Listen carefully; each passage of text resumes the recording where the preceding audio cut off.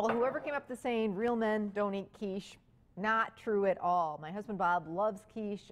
Quiche is delicious, and this is a fun, um, new, different quiche recipe I came up with. It's a bacon and zucchini quiche. So we're going to start with about a quarter of a pound of bacon, and I've just diced it up a little bit. I like using or coming up with different new recipes for zucchini in the summer because at a certain point, it's already at the farmer's market, and toward the end of summer, it's like you got zucchini coming out of your ears. People are dropping off zucchini on my front porch. They're bringing it into work, uh, trying to get rid of zucchini. So, you know, I always try and come up with different ways to use it. I think zucchini can kind of get a bad rap, um, and I, I love it. I happen to absolutely love it. And I love putting it in different things. Um, you know, you can do a lot more with it than just boiling it or throwing it or into zucchini bread. Um, you can use it in lots of different recipes. So why not throw it in quiche? Quiche is, uh, today's show is about breakfast, but quiche isn't just a breakfast thing. And actually quiche is great for lunch or even a nice light dinner. So let's talk about the zucchini a little bit. Um, it it's really can be a little bit sandy uh, and especially if you're getting it, you know, from somebody's garden or at the farmer's market. So it's really important to wash it very, very well. At home, I'll use a scrub brush a lot of the time. You don't want to get any sand into that quiche. So wash it well and then really dry it well. Super important. And then we'll get back to dicing that up in just a minute. Let's talk about the crust for the quiche. We're going to take a shortcut here keep it really easy breezy. And we, we're going to use one of those pre-made pie crusts, which are like the best invention ever. And I want to pre-bake it just a little, little bit. Um, sometimes what happens when you have quiche is the crust gets kind of soggy, and this can help with that. So we're just going to pre-bake it for a few minutes see, these are so wonderful to work with. Now, by all means, if you have a great pie crust recipe that you happen to love and you're a pie crust maker, make your own from scratch. But again, I would pre-bake even the homemade pie, pie crust for just about five minutes. You just want to get it started. And that way it's going to hold the egg batter really nicely. Now Anne's going to give me a dirty look because her crimps and her crusts are going to be you're way prettier than mine. But I like the rustic look, Anne. I'm all about rustic.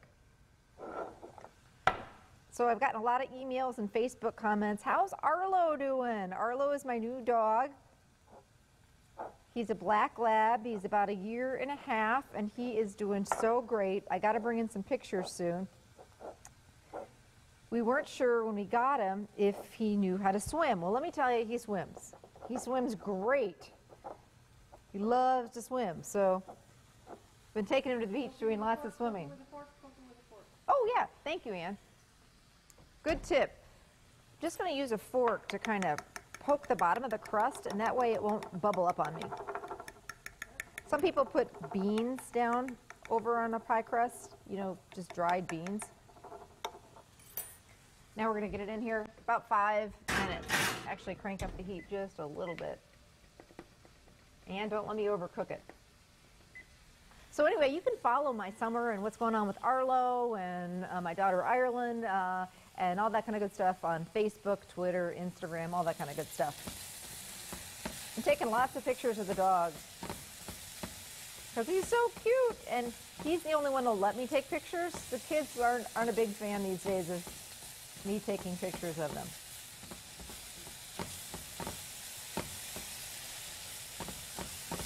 Okay, so our bacon is starting to cook up a little bit. Let's talk about the quiche batter.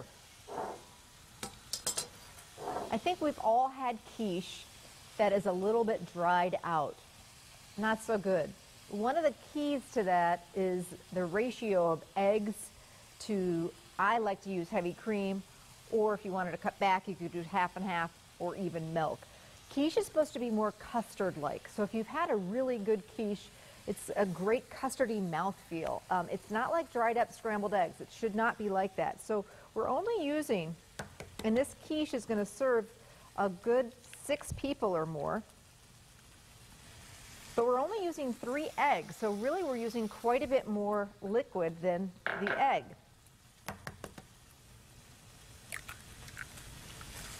So we're using three eggs and a cup and a quarter of heavy cream. Of course, we love our Lamers heavy cream. Great local dairy in the Appleton area. The, you can actually go out there in the summer, take the kids, and it's a lot of fun. They've got a window, and you can actually watch them during the week how they, you know, uh, bring in the milk. And Anne's in love with their chocolate milk and their pink or raspberry lemonade and their regular lemonade. So a cup and a quarter of Lamer's milk. And you can get an ice cream cone out there too for the kids or yourself. Okay.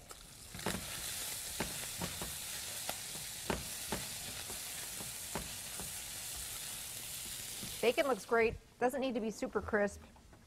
I'm just going to get it out of the pan and we'll start with our zucchini. And we've got some great drippings from the bacon. We're going to actually, and there's not too many, there's about a tablespoon or two, which is perfect. If you get a ton of drippings, oops, then you'll want to um, drain a little bit of that grease, but this is going to be what we're going to cook our zucchini in. It's going to give the zucchini some nice flavor. Okay.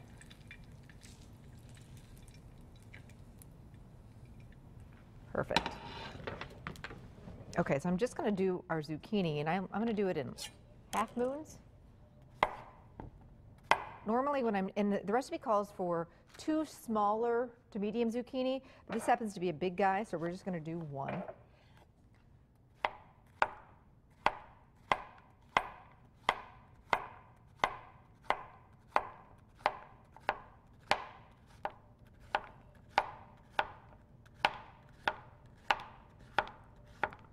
slicing it up a little bit. My husband Bob, when we met, I remember um, wanting to cook him a very special, like a date night dinner. And I was kind of saying, well, you know, what do you like? What do you don't like? And he's like, I don't do zucchini at all. Nope, no zucchini. And I'm like, what do you mean? That could be a deal breaker here because I love zucchini.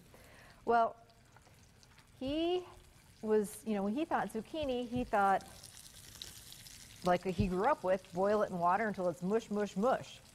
Now, promise you, it is one of his all-time favorite vegetables. Um, he loves it if it's just, you know, sauteed, or sometimes I'll throw it on the grill, or put it in different recipes.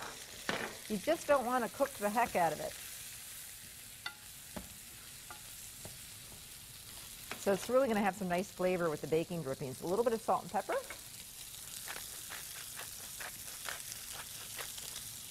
And we're about ready to start putting this quiche together. So back to our custard mixture. Three eggs and a cup and a quarter of heavy cream. So that really is the key to yummy quiche. If you see a quiche recipe that has like six or eight eggs, trust me on this one. Uh, it, it's yeah, it's not going to be good. Unless you're making a ginormous quiche, but I don't know if a pie pan that big. So really, you want to look for three, three eggs and quite a bit of heavy cream or half and half. Milk, you're just not going to, it, it's still going to taste good, but you're not going to get that real velvety custard texture like you would when you're using heavy cream. Okay, zucchini is getting some color, that is a good thing. I want it to have some color on it. That is going to be flavor. Okay, I'm going to turn it off. I don't want to overcook it though, because then it turns into mush, and that's when it's not so good. Okay, let's get our...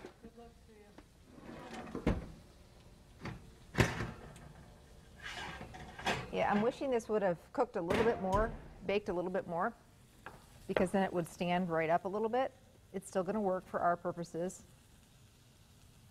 I'll just use my fingers and, and, work with this. And then when it bakes again in the oven, it should be fine, but I'd like to see it a little bit browner around the edges. Okay, so down goes our, we're using a Gruyere or shredded Swiss cheese. That's traditionally the type of cheese that you use in quiche. You could use any type of quiche. You could use cheddar. You could, you want some kick to it. You could do pepper jack, Monterey jack, but the, the real deal, the real French quiche has Swiss or Gruyere, and then in goes our zucchini. Now I'm using bacon because I love bacon. Um, you could completely do this vegetarian with zucchini and, and, and spinach and maybe red pepper and onions would be great in here. You could do it with ham, sausage, it's all going to work. And then our egg batter goes right over the top. And into the oven this goes. I'm going to put it back in the oven. And uh, you really want to wait till the, the custard is just set, but you don't want to over bake it. Um, just like anything, it'll continue to set up a little bit when it comes out, but it, it easily takes a good 30 to 50 minutes. So back in it goes. And uh, here is the finished product. I like to let it rest a good 20 minutes to a half hour before you slice it. Quiche doesn't need to be hot, hot, hot, hot, hot. Um, if you cut it when it's that hot right out of the oven, it's just going to fall apart on you. It's not going to give you a nice, even um, slices. If the, the edges are getting a little bit browned, um, and these got just a teeny bit more brown than I would like, cover the, the edges of the pie with a little bit of foil, like during the baking process. So just check on it. Peek on the, the quiche a couple of times during the baking process. Coming up, some fun, new, delicious breakfast recipes. We, if you like oatmeal, we're going to make a new twist on oat, oatmeal. Um, it's going to be really delicious. Apples and quinoa, really healthy, um, and some more fun breakfast ideas too, like coffee cake. So don't go anywhere. We'll be back.